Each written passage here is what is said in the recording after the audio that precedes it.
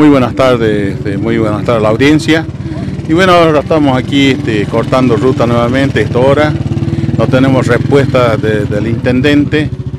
Y bueno, vinieron a, este, los gendarmería, policía, a sacarnos información más o menos qué es, lo, que estamos solicitando. Nosotros queremos entrevistar con intendente como funcionario del pueblo público necesitamos de que sea nexo para, que poder, para poder conseguir eh, audiencia al gobernador.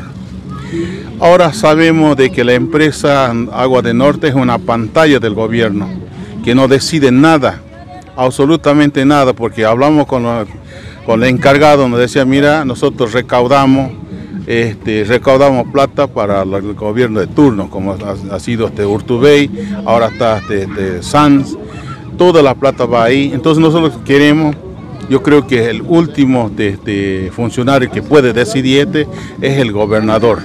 Que para decir qué se va a poder hacer, se va a la planta depuradora, qué mejora va a tener, si hay un puente colgante para que este, la cloaca pase, pase para otro lado del, del río, porque hay una otra planta depuradora, otro lado.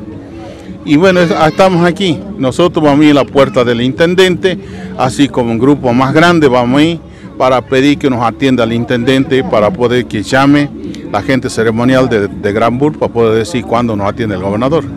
Con respecto a la llegada del gobernador la semana pasada, eh, ¿le pudieron hacer este planteo de la situación que se vive en la comunidad? No, no, no. Otro que pensábamos que se iba pensábamos que se iba a mejorar, pero finalmente se empeoró. Bueno, cuando vino el gobernador, nosotros teníamos otro problemita, ¿visto? Y el, había gente que estaban ahí, pero no plantearon el, asunto. Ahora estamos viendo que se ha empeorado con el agua depuradora, así que por eso estamos aquí.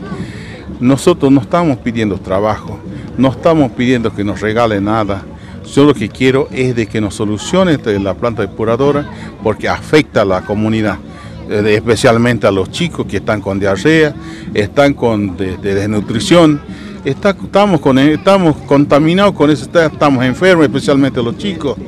Y mira, hasta ahora se, murió una persona ahí, no se sabe de qué se murió. Y bueno, así sucesivamente va, muriendo los habitantes de La Pachuna sin saber qué es lo que está pasando.